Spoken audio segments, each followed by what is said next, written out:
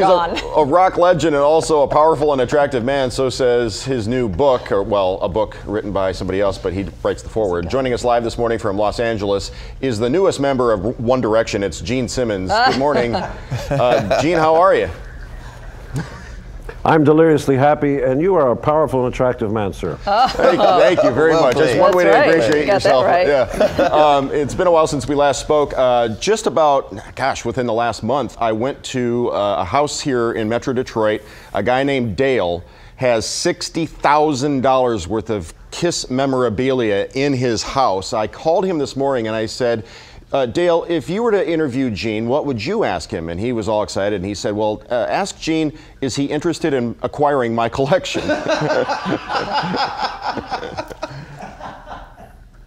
Sure, absolutely. How, how much does he want? Are you going to get a you going to get a piece for this for brokering the thing? No, absolutely not. I would do no such thing. But this guy, uh, Gene, I mean, talk about marketing. This guy has deflated Kiss balloons from concerts that you guys performed, you know, 35 years ago. So- he's got Kiss wine. He's so got a I. Kiss.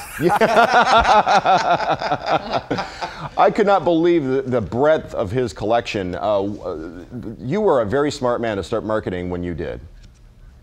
Well, I, I don't want to tell you the stuff I've got. I've got literally floors, about 10,000 feet of uh, items going spanning the 41 years that we've been around together. I have Kiss comic books, Kiss, Kiss condoms, Kiss caskets. We'll get you coming. We'll get you going. Come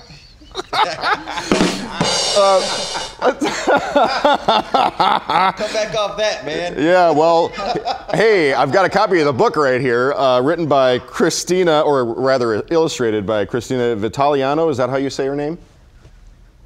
God knows she's she doesn't even know how to pronounce her own name. How did this come about, and how did you end up writing the foreword for this? I was in the middle of uh, promoting the last book that I wrote earlier this year called Me Inc., Me Incorporated, which was a pretty serious book about life and business and your, your life decisions and so on, how to make more money in a few easy steps.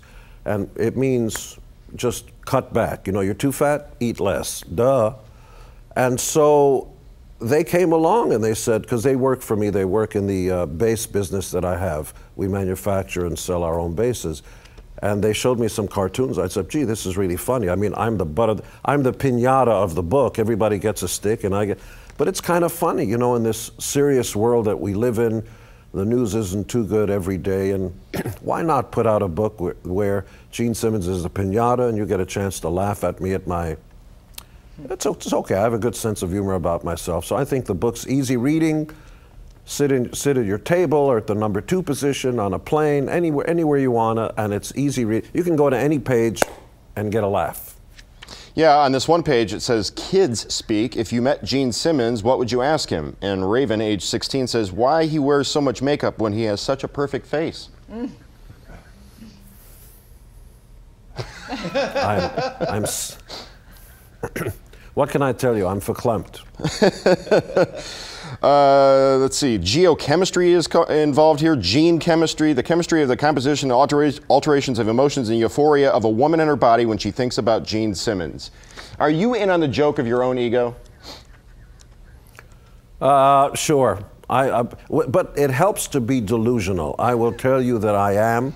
I'm an only child. When I wake up in the morning, I mean, my mind, my logic tells me I'm not as good looking as I think I am, but my eyes lie. I'm going, damn.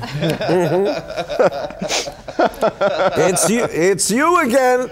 It's you again. Ever the showman. Hey, So uh, in the time that we have left, we have about 20 Yeah. seconds here. I want to give uh, you the opportunity to make Dale's day. Dale here at Metro Detroit, Kiss Army, Kiss Superfan. Is there anything you'd like to say to Dale and his uh, big collection of Kiss memorabilia in his basement?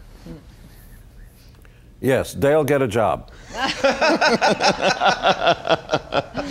Gene Simmons is a powerful and attractive man and other irrefutable facts. Uh, that is the name of the book. Thanks for joining us this morning, Gene.